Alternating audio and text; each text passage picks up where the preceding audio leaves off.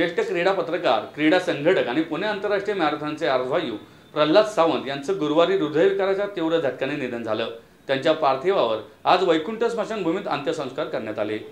Marathon भवन येथे सावंत यांचं पार्थिव अंत्यदर्शनासाठी ठेवण्यात आलं होतं. यावेळी पालकमंत्री गिरीश बापट माजी आमदार उल्हास पवार मोहन जोशी आमदार अनिल भोसले माजी उपमहापौर आबा बागुल कुस्तीपट्टू काका पवार ॲथलेटिक्स संघटनेचे उपाध्यक्ष अभय छाजेड आदींसह क्रीडा आणि पत्रकारिता क्षेत्रातील मान्यवरांनी त्यांचं अंत्यदर्शन घेऊन श्रद्धांजली वाहिली.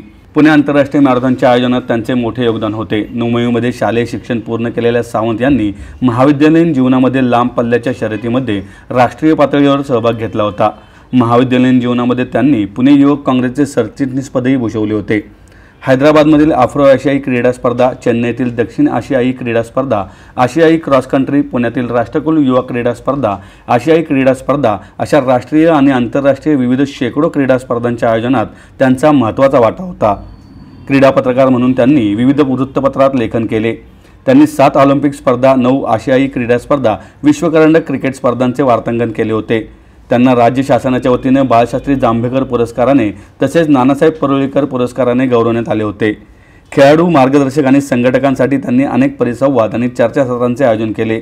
सावंत यांनी भारतीय ॲथलेटिक्स महासंघाचे सहसचिव आणि उपाध्यक्षपद तसेच महाराष्ट्र ॲथलेटिक्स संघटनेचे सरचिटणीसपद आणि महाराष्ट्र ऑलिम्पिक संघटनेचे उपाध्यक्षपद भूषवले.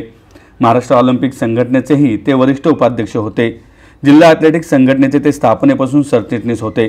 विद्यापीठ क्रीडा मंडळावरही तसेच विविध निवड समित्यांवरही त्यांनी काम केले होते. त्यांना शिवछत्रपती क्रीडा पुरस्कारानेही गौरवण्यात आले होते. सावंत यांच्या पार्थिवावर वैकुंठ स्मशानभूमीत अंत्यसंस्कार करण्यात आले. सावंत यांच्या निधनामुळे म्हाळुंगे बालेवाडीत शिवछत्रपती क्रीडानगरीत सुरू होणारी पुणे जिल्हा ॲथलेटिक स्पर्धा एक दिवस पुढे ढकलण्यात आली आहे. ही स्पर्धा आता शनिवारी सकाळी आठपासून सुरू होणार आहे.